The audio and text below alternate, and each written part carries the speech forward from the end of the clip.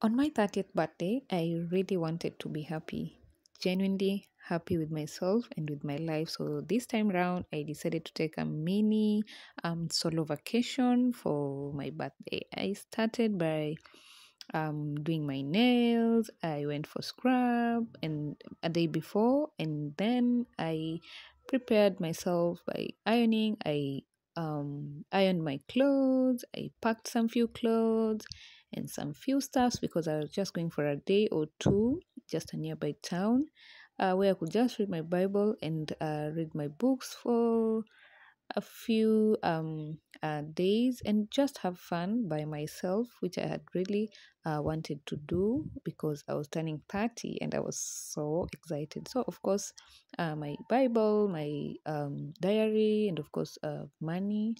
Him, I, I, I, I, I took shower. Um, and yeah, I arrived at Malindi and um, took uh, an accommodation in a, a small hotel here, but I liked their services and everything was very good. I was having fun with myself, and um, I had planned um, to go to some few places which I was not able to go um, because of some reasons. Of course, because of Hidaya, the Hidaya um, wind that was said to be at the coast, but I just uh, went to the beach where I, I had planned actually to go uh, to the deep sea with the um, uh, with those uh, ocean those you know those things yes. But unfortunately it was not uh, successful. But i'm glad because at least i had fun i was taken care of in that uh, hotel. Things were running smoothly and um, yeah I, I i just had a, an amazing time alone.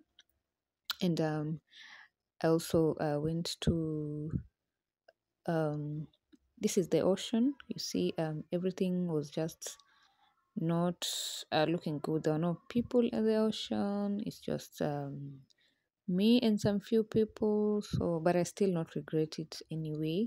I'm just happy because at least i went to to malindi and just spent my time alone how i wanted it to be just by myself with no children nobody and nobody.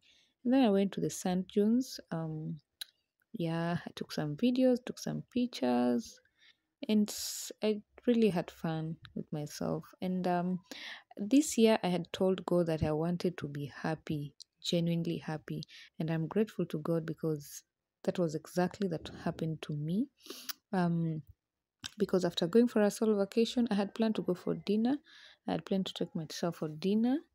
Um, and a friend also came through who decided to surprise me.